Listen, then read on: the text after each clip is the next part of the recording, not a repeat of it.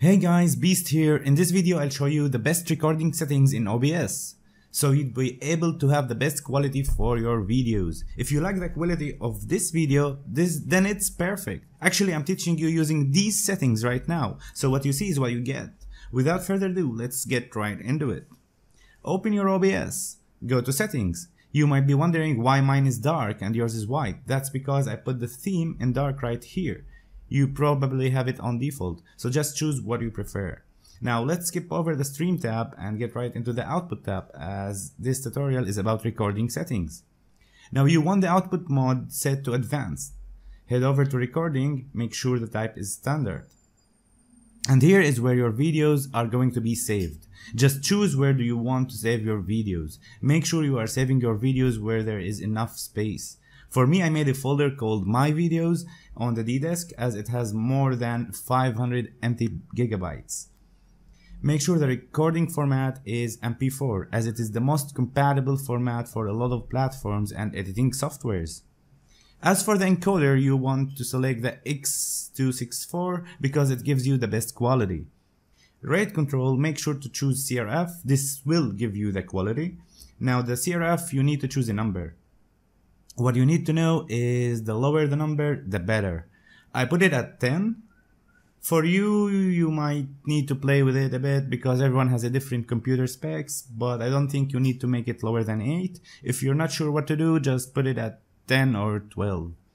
Now the keyframes interval, just set it at 2. And now let's go to the CPU usage present. It is very important what you need to know is the faster it is, the lower the quality. And the slower it is, the better the quality. But this is very dangerous to play with. You don't want to burn out your CPU, so leave it as it is. You might have it at faster or very fast, which will still give you a very good quality. You might even have it at ultra fast, which is lower quality, but still if you don't understand what you're doing, just don't. For the, for the profile, just set it to main. Make sure the VFR is unchecked. And for the X264 options, we're gonna have OpenCL equals true. You can just copy what I have here, which will help the CPU encode the recording. Now over to the audio, I set it up to 320 and the reason behind it is because I am just doing a local recording and there is no need to downscale it as we are looking for the best audio quality. Now go to the audio tab, make sure that the sample rate is the same as your mic.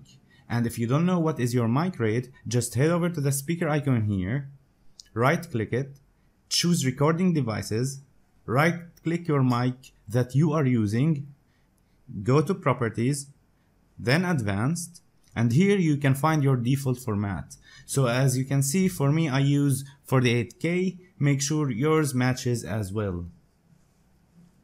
For channels, I keep at stereo. Desktop audio device, I keep it at default. So this will just be your actual music or game or if you have Skype opened or whatever you have. Mic audio device, I choose my Razer. You can of course choose yours. If you have Blue Yeti or whatever you have. Now head over to the video tab.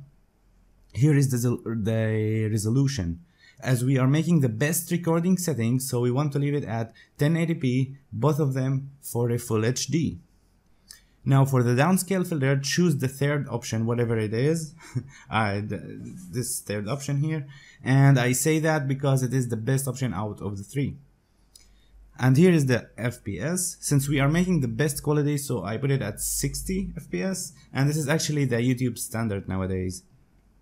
Now for the hotkeys, you can set hotkeys as you like. If you want a key to start recording, a key to end recording, mute and unmute the mic and so on. Each one has, has his own preferences. For me, I just don't set up any keys for my recording, but if you, if you want, you can, of course. Now the advanced tab, I keep the process priority above normal and I keep my rendered at Direct 3D 11. If you do have an AMD graphics card, you might want to change that to OpenGL. Now the color format NV12, color space 709 and color range at full and the reason I do that so I can get the best colors and quality for my videos. and you can copy the rest of my settings. I'm not gonna be changing anything. Basically just keep them at default.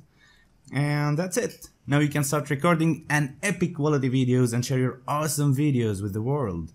If you found it helpful, make sure to leave a like and subscribe to get notified when my next video is up. And if you have any questions, don't hesitate to ask in the comment section below and I'll try my best to answer your questions. Thanks for watching and see you in the next video. See ya.